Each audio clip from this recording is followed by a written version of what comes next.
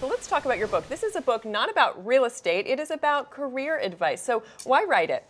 It's for everybody, and I did that because it, it, really appeals to three types of people, which is who I wrote this book for. The person sitting on the couch watching this, uh, figuring out their next move in their career, uh, maybe somebody who's looking for a little more financial freedom to take care of their family, uh, or somebody who's stalling and needs that extra boost of energy. Um, I moved out to LA about 12 years ago.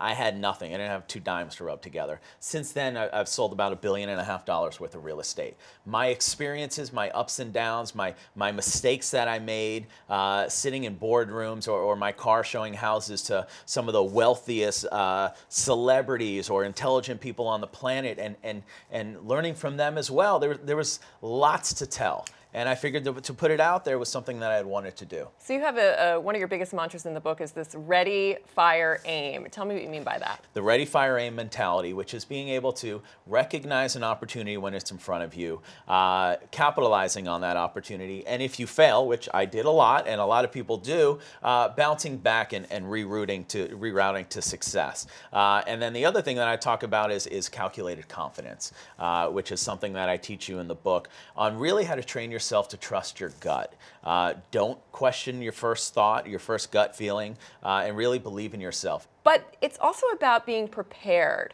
And you know, you give this great example of how you were on the treadmill next to Tyler Perry, and you were bold. You kind of talked him up. You ended up selling him, a, help selling his house.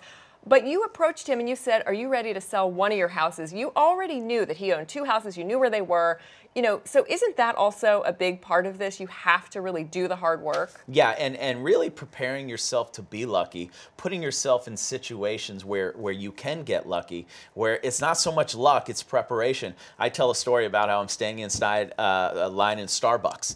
And I'm not at that Starbucks because I like coffee. I'm at that Starbucks because that's where all the wealthy people and all the celebrities in Beverly Hills go every morning. I meet a guy in line in front of me. I end up showing him a house later that afternoon and he buys a $12 million house. Some people would say that's luck. For me, it's all about being in the right place, and, and there was a reason why I'm there because I'm an expert in my community and I put myself in that situation.